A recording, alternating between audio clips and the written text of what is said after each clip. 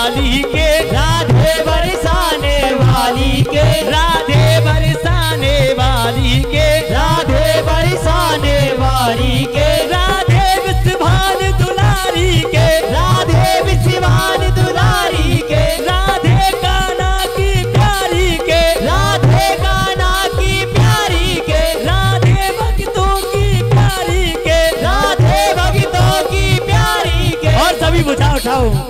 हमें भुजा उठा कर कहते हैं, हमें हो गई राधा रानी। के हमें हाथ उठा कर कहते हैं, हमें हो गई राधा रानी। एक बात और, ये जो आप पहले बाबा बैठे थे, बाबा बैठे आतराम ताऊ बैठे, ये कहाँ गए? और हमारे मेयर साहब जी खड़े जाएँगे। हमारे मेयर साहब जी खड़े जाएँगे। देखो जी ये ठाकुर जी का दरबार है। इसमें नाचना, झूमना ठाकुर जी के दरबार में हाजिरी लगाना बड़े भाग्य से मिलता है। और हमारे पूरन ताऊ जी कहाँ हैं? हाँ। और हमें हाथ उठा कर कहते हैं, हमें हो गए राधा रानी के। हमें हाथ उठा कर कहते हैं, हमें हो गए राधा रानी के।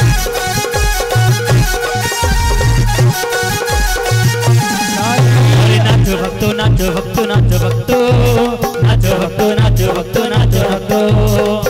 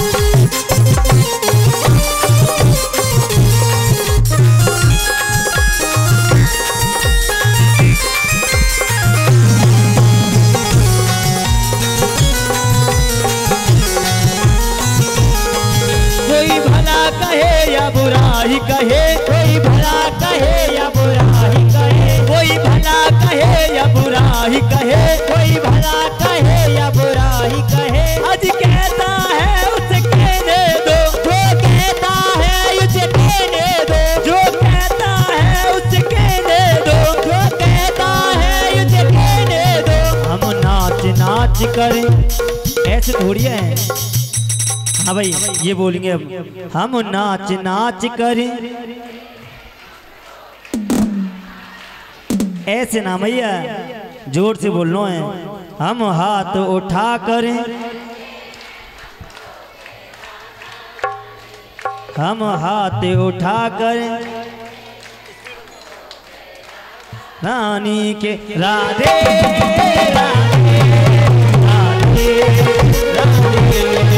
राधे राधे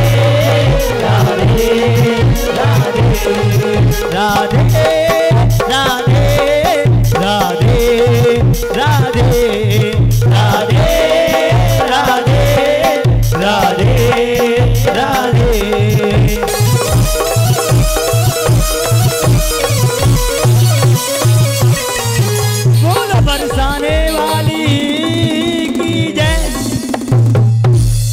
विश्वान दुलारी की। अरे मैया मुँह में ते थोड़ी सी जय घोष तो कर लियो।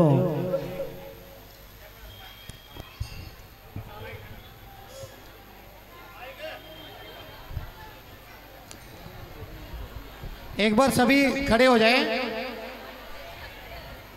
एक बहुत बड़ा पर्व पाँच अक्टूबर को आने वाला है और हम सब उसके भागीदार बनेंगे। हमारे जिला प्रशासन की तरफ़ से एक अपील आप लोगों के लिए आई है। तो सभी अपनी अपनी जगह पे खड़े होकर हाथ आगे कर लें और हम मत, लोकतंत्र की मजबूती के लिए आज शपथ लेंगे कि हम स्वयं भी मतदान करेंगे, किसी भी पार्टी को करें, लेकिन मतदान अवश्य करें और स्वयं भी मतदान करेंगे और औरों के, जो परिवार के सदस्य हैं सभी को घर सोने के लिए नहीं छोड़ेंगे।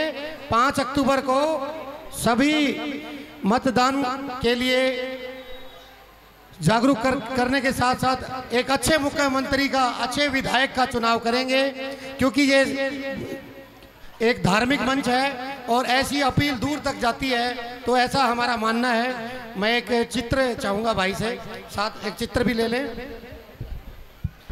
रेडी अपील के लिए तैयार सभी। हम भारत के नागरिक सभी बोलेंगे साथ साथ पीछे बैठे नहीं, खड़े हो जाएँ। हाथ आगे कर लें। शपथ लेनी है, शपथ। सर, आप भी। मेरे साथ साथ बोलेंगे, शपथ शुरू। हम भारत के नागरिक लोकतंत्र में अपनी पूर्ण आस्था रखते हुए यह शपथ लेते हैं कि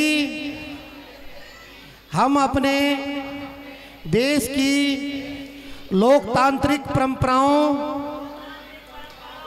की मर्यादा को बनाए रखेंगे तथा स्वतंत्र, निष्पक्ष, शांतिपूर्ण निर्वाचन की गरिमा को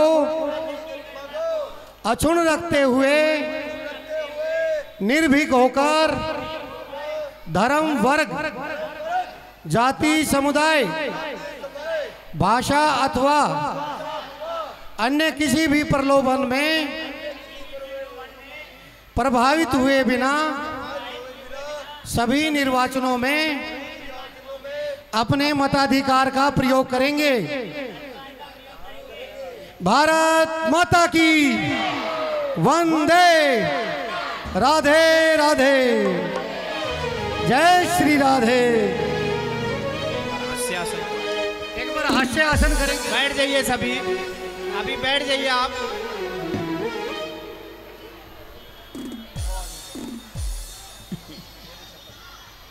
बैठिए आप। मैं तो एक एक डांस से ही आपके साथ जुड़ गया। महाराज जी की कथा में इतना रस है। हम भी आप इन्हीं के होके रह गए। तो मेरे को दिल से ये लगता है, कथा जब आप श्रवण करते हैं तो आपका जीवन ही बदल जाएगा। अगर कितने खुश हैं या खुश नहीं हैं, अभी पता चलेगा। तीन बार तालियाँ बजा के चौथी बार मेरे साथ हंसेंगे। उससे आसपास ये पता चल जाएगा, यहाँ कथा चल रही है या कोई प्रोग्राम चल रहा है आसपास सबको पता चल जाएगा। और आपके दिल को भी पता चल जाएगा कथा में कितना रस है। तीन बार तालियाँ बजाइए। एक, दो, तीन।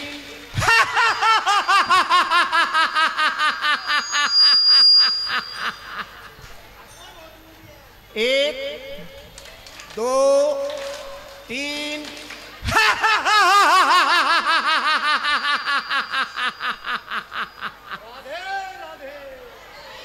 एक बार और, मेरा प्रोग्राम यूट्यूब पे आता है।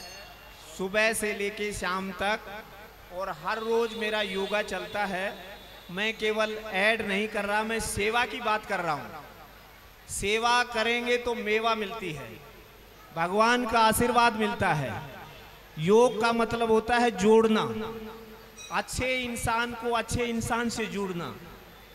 प्राण और भगवान का मिलन, परमात्मा और भगवान का मिलन।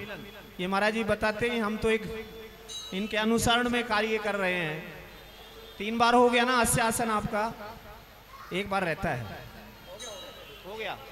जय श्री राम एक बार और कराओ महाराज जी एक बार और रह गया है। एक बार रह गया। एक बार रह गया तीन बार करो पूरा। तीन बार होता है।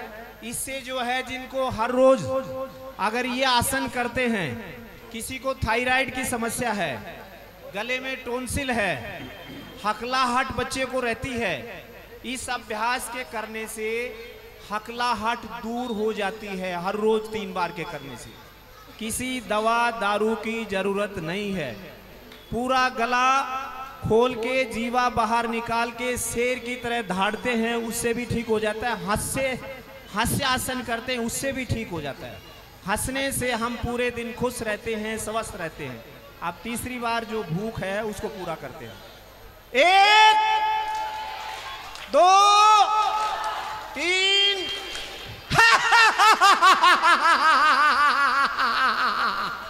आप यूँ ही हँसते मुस्कुराते रहिए। खुशियाँ आपके जीवन में बरकरार रहें। अगर मेरे शब्दों से किसी को ठेस पहुँची हो तो अक्षमा आचना चाहते हैं। और अच्छा लगा हो तो तालियाँ बजा सकते हैं। जय श्री राम। बहुत बढ़िया। देखो, हमारे शरीर का संतुलन बनाने के लिए प्राणायाम परम बलम। ये प्राणायाम में आता है योग साधना। ठीक है, ये करना चाहिए ज़रूर। इतना फैट बढ़ा हुआ है ना हमारे शरीर का, ये फैट नहीं बढ़ेगा। हमारे बीपी हाई बीपी लो ये जो बीमारियाँ चलती हैं, प्राणायाम से इस योग बल से ठीक रहती हैं, याद रखें। अब मैं निवेदन करूँगा हमारे महाराज जी, आ जाओ। एक भजन आप सुना दो माता रानी का, क्योंकि कल आपकी हाजिरी नहीं हो पाई थी, क्षमा चाहेंगे, पता ही नहीं चल पाया ब्याह में एक भजन आपका हो जाए, फिर उसके बाद में कार्यक्रम आगे बढ़ाएँगे। लक्ष्मण आ जाओ बेटा, आ रहे हैं, आ रहे हैं, आ रहे हैं। कछु निकाल रहे हैं दक्षिणा। माता थोड़ा पीछे सरक जाओ थोड़ा सा ये हेलो। कुछ माताएँ साइड में इधर आ जाएँ। इधर आ जाएँ कुछ माताएँ बगल में। फ़ोटो ले दो महाराज जी के साथ एक फ़ोटो ले लो भाई कोई भी। इधर आओ पहले आप।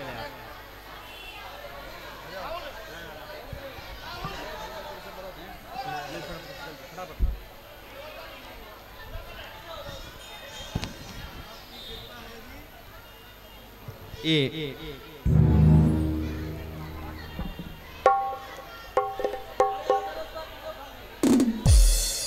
सभी थोड़ा थोड़ा पीछे हो जाएँ।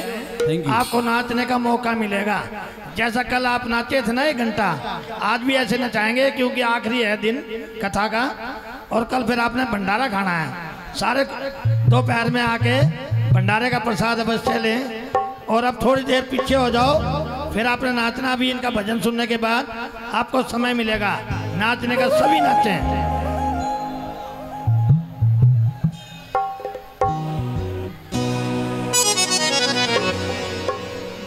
मंदी करियो जरा आप आवाज़ ताकि इनको सुने ना कल की तरह। भैया माइक सही कर देना भैया।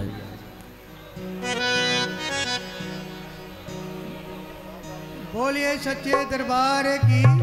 जय। शीतला माता की और गुरुवर देव भगवान की। जहाँ बैठे हैं धरती माता की। ये चू चू सी बंद करो बाबू जी फिर मज़ा नहीं आएगा। हाँ रख लो, कोई बात नहीं जी, पहली बार नहीं हूँ मैं। हाँ। बोले सच्चे दरबार की जय। अपनी अपनी देवी माई की जय। भीमे भवानी की जय। बेरी धाम की जय। हम सब भक्तों की जय। आप जैसे कथा सुनी आपने। मैं सिर्फ़ दो मिनट इनके लिए लूँगा। ज़्यादा टाइम में भी नहीं लूँगा जी। तो जिस दिन से हम आए थे, पता चला, मैंने थानेश्वर जी से, महाराज जी से कहा था कि एक दिन यहाँ कीर्तन करा देते हैं। छोटी सी मंडली है, इनके भाई साहब भी थे, उन्होंने भी रजामंदी दे दी थी। इन्होंने कहा कि, कौशिक साहब, मैं कौशिक हूँ जी वैसे। यहाँ भागवत हो रही है सोलह तारीख को, और तेईस तारीख तक चलेगी। आप उसमें आ जाइए। जैसे हुआ, बहुत भाग्यशाली बात हुई। आए, दर्शन पाए, भागवत सुनी। भागवत वही होती है जो समझ में आए। और उसका हम अनुकरण करें। ये नहीं, चले गए, झाड़ के कुटतर, फिर पीछे रह कर आगे जाकर पता नहीं क्या हुआ। चाहे इन्होंने कितनी सुनाई हो, मैं ये नहीं कहता, मैं तो ये कहूँगा, बहुत अच्छी सुनाई कि हमारी बुद्धि को ही साफ़ कर दिया। जितनी हमारी और तरह की बुद्धि थी, वो बिल्कुल साफ़ करके भागवत में दे दी वो बुद्धि यूँ की यूँ। तो हम तो बहुत ही बुद्धिमान बन गए। क्योंकि भागवत किसी किसी को मिलती है और ऐसी भागवत मैंने कहीं नहीं सुनी है। मैं ये उनकी बुराई नहीं कर रहा हूँ। अगले महीने और भी भागवत है, जो हमारे भाई साहब भी करेंगे, बेरी में करेंगे जी वो, पच्चीस तारीख से। तो लेकिन यहाँ की भागवत जो मैंने सुनी है और इनका कोऑपरेशन देखा है, बहुत बढ़िया लगा- अब टाइम नहीं नहीं तो मैं एक आपसे और अर्ज़ भी करता। मुझे बाद में पता चला था, कल मुझे टाइम नहीं मिला। जो इन- इन्होंने हवन कराया हमारा, वो हवन मैंने कभी नहीं देखा है जी। जितना बढ़िया हवन इन बच्चों ने कराया, ये तो भगत है, बच्चों कह दिया मैंने, चलो मेरे से तो छोटे ही हैं। मैंने ऐसा भवन मतलब जो है ना जी, ये नहीं देखा इन्होंने पूजा कराई, बहुत बढ़िया पूजा कराई जी, हमारे तो देवी देवता और पितर भी। खुश हो गए जब हम खुश हो गए तो वो तो होने होने होते हैं जी। इन्होंने कोई टाइम की ये नहीं कहा कि टाइम कम लगेगा। एक एक बात, क्योंकि समझते हो तो हम भी हैं जी, ऐसी कोई बात नहीं कि नहीं समझते इनकी भाषा। तो बस इतना कह के मैं एक थोड़ा भजन सुनाऊँगा। आशा है कि आप ज़रूर सुनोगे। बोले, सच्चे दरबार की जय। अब कथा समाप्त आज होने जा रही है। तो कृष्ण जी भी चले जाएँगे। तो भगत जन कहती है मीरा बाई ही है भगत जन तो इनकी सबसे ज़्यादा। वो कहते हैं कि भगवान कहीं भी चले जाना लेकिन दिल से दूर मत जाना। भजन तो कई कई थे लेकिन समय का अभाव के कारण हम नहीं सुना पाएँगे। बोले सच्चे दरबार की जय। वृंदावन बिहारी लाल की जय। भजन है तू तो बस गया कितनी दूर याद तेरी आवरे सांवरिया। बोले, सांवरिया भगवान की, तू तो बच गया कितनी दूर, याद तेरी आवरे सांवरिया। तू तो बच गया कितनी दूर, याद तेरी आवे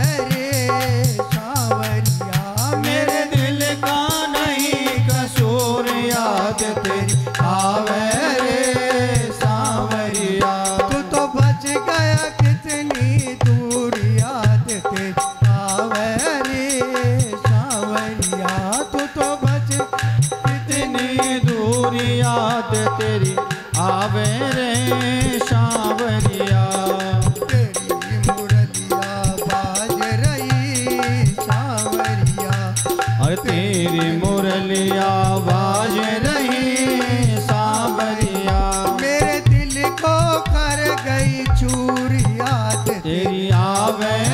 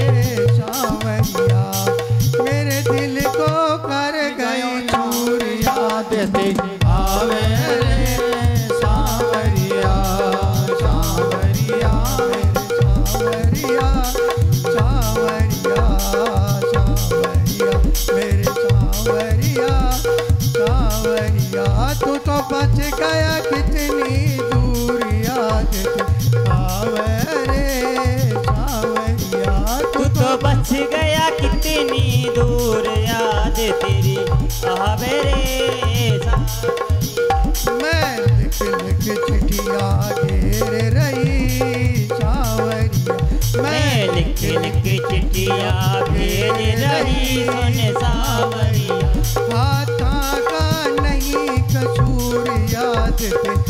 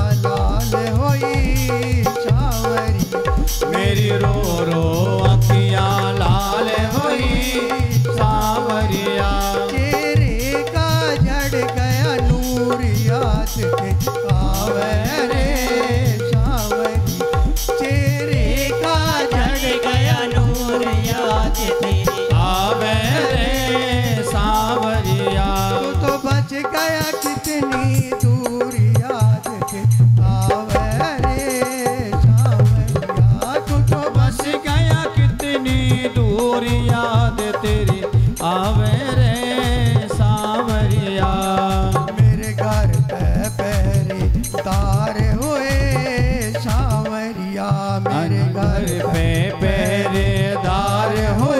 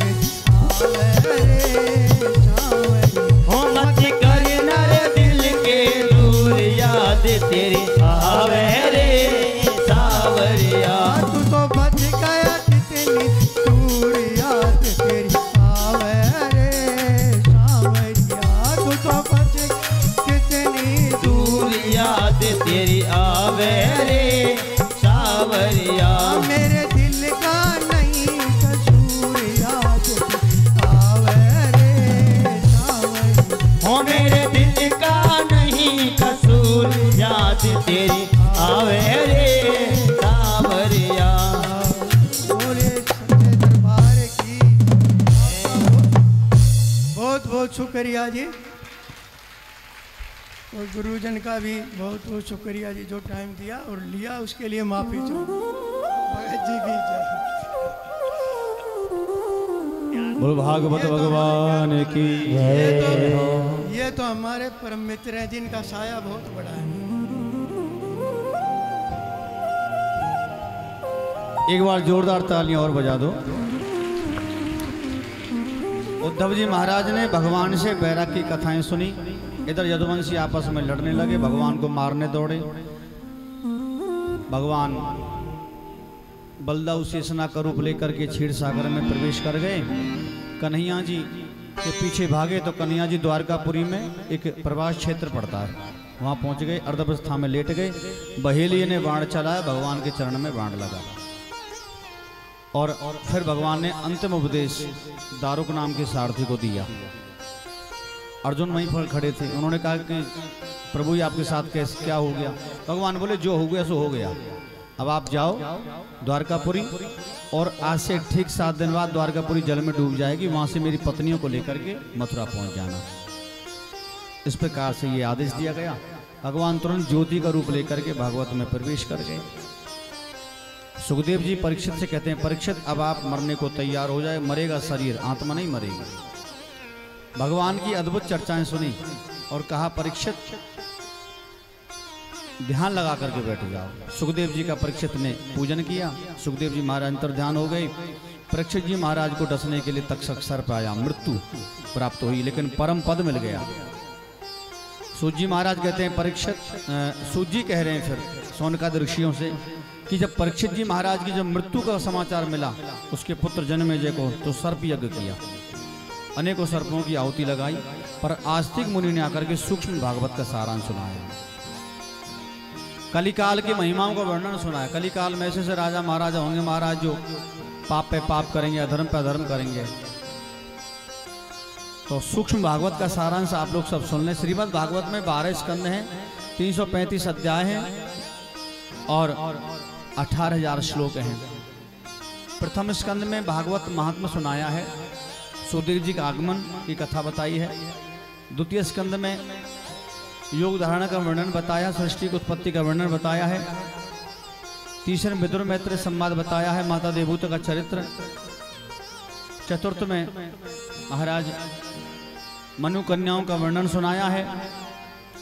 प्रचेताओं को महाराज नारद जी का उपदेश। पंचम में नावी भरत, खगोल, भूगोल का वर्णन आदि सुनाया है। षष्टम में महाराज, दक्ष महाराज की कन्याओं का वर्णन और सप्तम में हिरणाकश्यप, हिरणाक्ष जैसे पापियों का कर्म और उनका कल्याण। अष्टम स्कंद में महाराज, गजेंद्र मोक्ष, कुर्म अवतार, मत्स्य अवतार वामन अवतार, इसकी कथा सुनाई है। नौमी में महाराज, सूर्यवंश के राजाओं का वर्णन सुनाया है। और भगवान श्री कृष्ण का जन्म उत्सव। एकादश में भगवान श्री कृष्ण की लीलाओं का वर्णन, जिसमें महाभारत का प्रसंग भी आता है।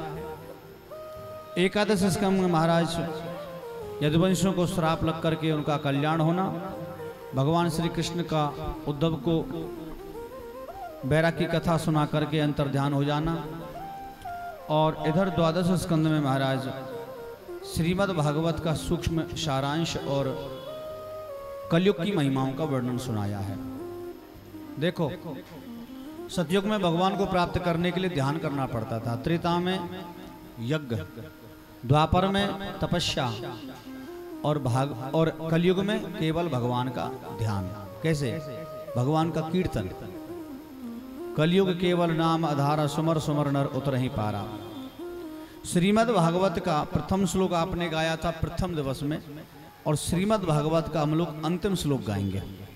आप लोग सब मेरे पीछे पीछे गाना आपको संपूर्ण भागवत का पुण्य प्राप्त होगा। बोलो भागवत भगवान की हो मेरे पीछे बोलना है आप सबको। छोटे बच्चे से लेकर बूढ़े तक सबको बोलना है। बोलो नाम नाम संकीर्तनम। संकीर्तनम। यश। यस्य सर्व सर्व पाप पाप प्रणाशनम विनाशनम प्रणामो प्रणामो दुखश दुःखस्य मनश मनस्य तम तम नमामि नमामि हरिम हरिम परम। परम।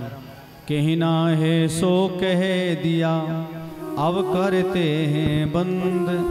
भूल चूक माफ़ी करो हम बालक मत मंद पत्ता टूटो डाल से ले गई पवन उड़ाए।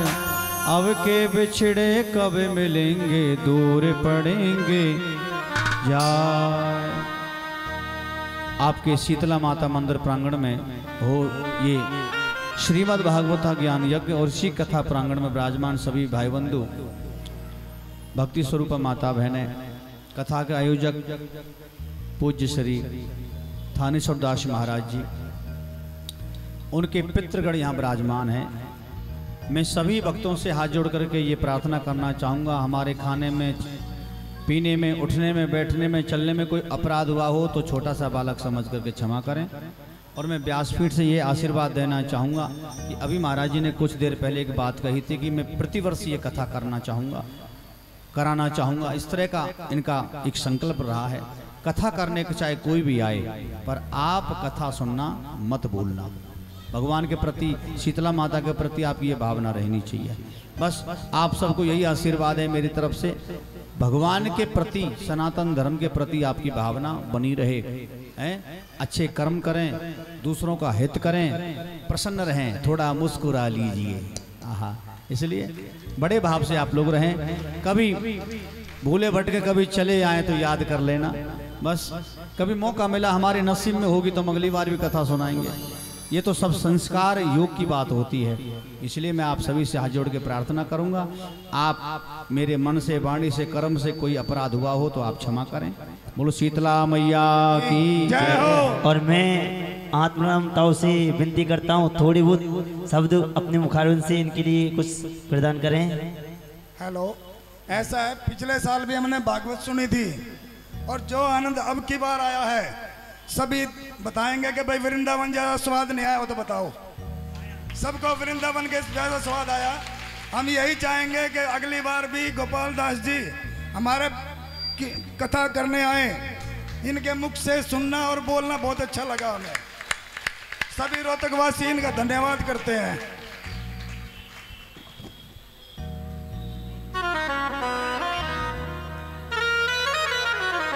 लक्ष्मण आपको आनंद आया कि नहीं आया?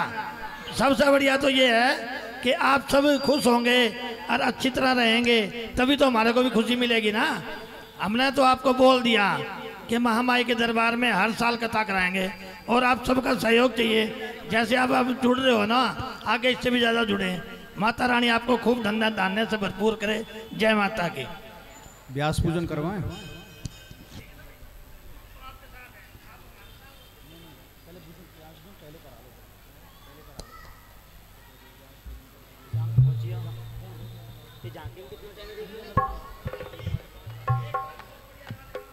एक लक्ष्मण भजन सुना दे बेटा। तब तक झांकी आ जाएगी, फिर व्यास पूजन हो जाएगा। ठीक है? झांकी के बाद में फिर व्यास पूजन करा देंगे। सुनो, थोड़ा बेटा देख लिया करो।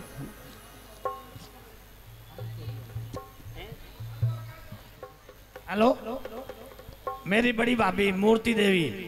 एक बार एक भजन सुना दे, क्योंकि आपने बहुत यात्रा कर ली। हम तो देखो कहीं गए नहीं हैं। हम तो आपसे ही सुन रहे हैं कि सारी जगह आप घूम आए और और भी सारी अपनी जो बैठी हैं अपने पड़ोस की। नहीं, वो सभी जाती हैं यात्रा करने। कभी द्वारका जी चलेगी, कभी बैदारनाथ चलेगी वहाँ। मैं तो कहीं गया नहीं जी, मैं तो माँ के चरणों में ही हूँ। मैं तो आपको सबका आशीर्वाद ले लूँ। हम तो इनके सबका आशीर्वाद ले ले। हमारे में तो कृपा हो रही है। जल्दी आ जा, टाइम ना है।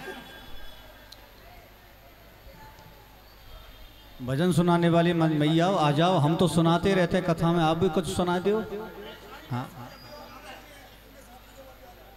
इनके साथ के जो ग्रुप वाली मैया, सब आ जाओ ना। कछु मैया तो कुर्सी ना छोड़ रही, का भरोसा, कुर्सी कोई कम बैठ जाओ तो चक्कर पड़ जाएगा। जहाँ देखो, जहाँ कुर्सी का झगड़ा। हाँ हाँ हाँ।